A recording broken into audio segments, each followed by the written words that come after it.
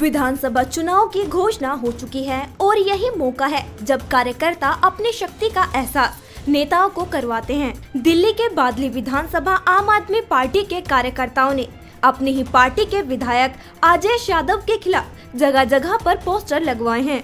इन पोस्टरों पर बकायदा इन कार्यकर्ताओं ने अपनी फ़ोटो भी छपवाई है और विधायक से नाराज़गी का कारण भी बता रहे हैं। ऐसे में सवाल उठता है कि जब खुद आम आदमी पार्टी के कार्यकर्ता विधायक से खुश नहीं है तो फिर क्षेत्र की जनता उनको आने वाले चुनाव में क्या जवाब देने वाली है?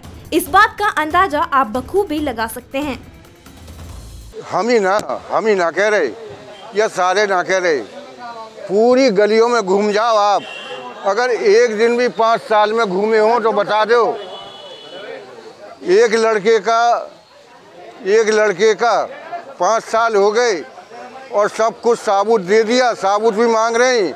उसका बेचारे का वो नहीं बना राशन कार्ड नहीं बना।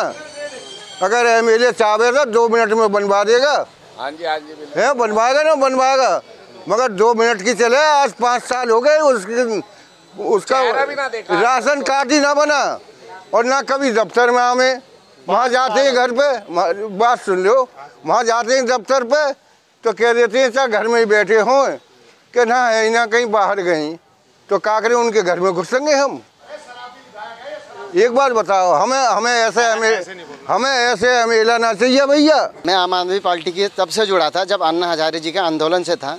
जब केजरीवाल जी ने पार्टी बनाई थी तो हम केजरीवाल जी के टीम में आ गए तो हमने हमने अपना घर बार छोड़ा आम आदमी पार्टी के लिए आज आज भी हमारा केस भी चल रहा है।